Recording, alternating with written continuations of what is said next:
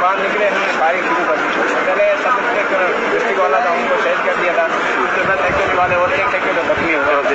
جیسے زخمی ہو گیا، تو ہمارے دو بندے تھے، تین بندے ہم تھے، دو زخمی ہو گئے تھے گولی لگ گئی، دوسرا دوسرے کو یہاں پہ گولی لگ سر وہ زخمی ہو گئے تھے، وہ اس کو ادھر گرے، پھر میں نے ایک کو شوٹ کیا، وہ مر گیا تھا۔ پھر انہوں نے بولا، بھائی، ایک بندہ اور بھی زندہ ہے جو ہمیں شوٹ کر رہا ہے۔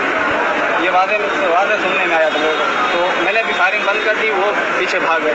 تو دو بندے انہوں نے بولا، بھائی، دو بندے جو آگے فائرنگ کرتے جاؤ اور ایک بندہ ہمیں کور دے جیسے وہ دو بندے فائرنگ کرتا گیا، ایک بندہ فائرنگ کرتا، دوسرے گرنیٹ پہ گیا، یہاں سے آگے۔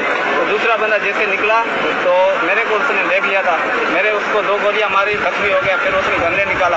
ایک ہاتھ میں گولی ماری، وہ ہاتھ چھوٹ گیا تھا ویپن سے ویپن نیچے گر گئی۔ تو اس نے گنے نکالا گنے کی پن نکالنے والا میرے اس کو سر کی گولی ماری۔ تو نیچے گر گیا۔ نیچے گرا، دو بندے آگے گئے، ایک کو میں نے پیچھے گولی ماری تھی وہ تھوڑا زخمی ہوا پھر آگے بھائی نے جو ہے کاروائی کی۔ السلام علیکم دوستو، میرا نام عبد الرحمن ہے۔ امید ہے کہ آپ سب خیریت سے ہوں گے۔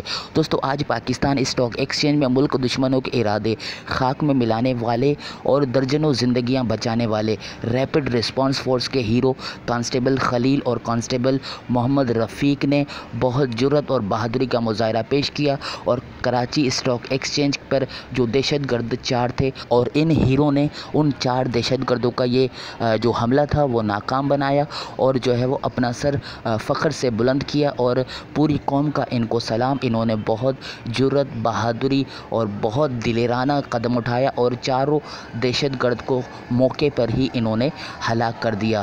تو دوستو، ہم دعا کرتے ہیں کہ پاکستان کے تمام جو ہمارے جو حفاظت کرنے والے، اللہ تعالیٰ ان کو ایسی قوت، ایسی طاقت طاقت ایسی جرت عطا فرمائے جو دہشت گرد ہمارے اوپر حملہ کرنے آئیں ان کو منہ توڑ جواب دیں اور سب کو اللہ تعالیٰ اپنے حفظ و ایمان میں رکھے اور اللہ تعالیٰ ان کو خوش رکھے۔ انہوں نے آج پوری قوم کا سر بلند کر دیا اور دہشت گردوں کو منہ توڑ جواب دے کر۔ تو دوستو ایسی لیٹسٹ ویڈیوز کے لیے ہمارے چینل کو سبسکرائب کریں اور بیل کے آئیکن کے اوپر پریس کر دیں تاکہ ہماری لیٹسٹ ویڈیو کے نوٹیفیکیشن سب سے پہلے آپ کو مل سکے۔